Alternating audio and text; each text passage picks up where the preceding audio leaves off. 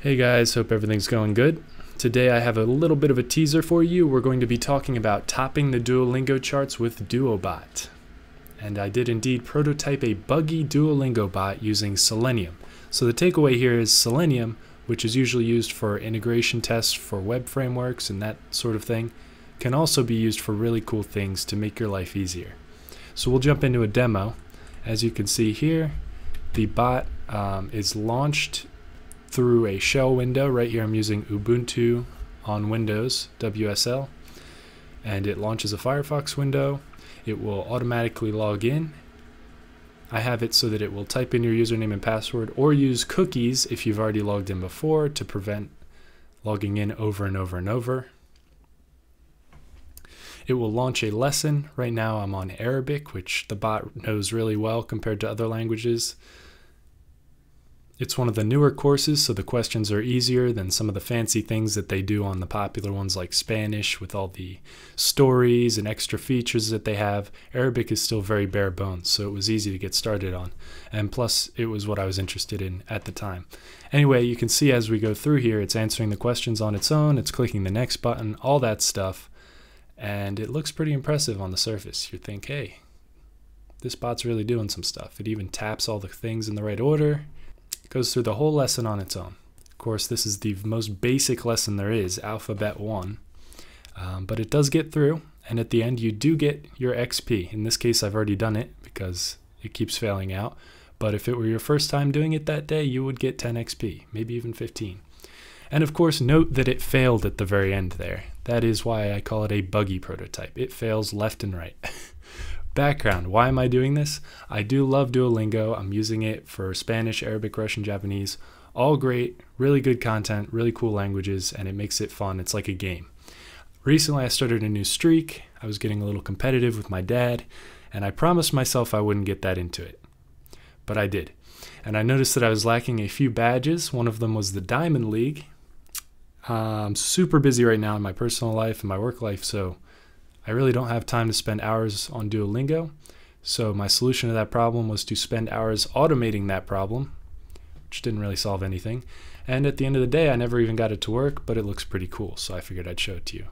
And just so you know, I actually had to grind out that Diamond League badge manually. But I had fun trying to solve this problem. So you might be asking yourself, how the heck is it learning new answers? How does it obtain this knowledge? And the answer is pretty unimpressive. If you launch, you'll see here, we're going to launch it again, and I'm going to run a lesson where it doesn't know all the answers yet. And we will go into a Spanish lesson. It's definitely not as good at Spanish. And we'll come up and it'll have an answer that it doesn't know. And on the left there in the terminal window, you'll see that it's asking you to enter the answer. So really, it's not learning anything, it's just remembering.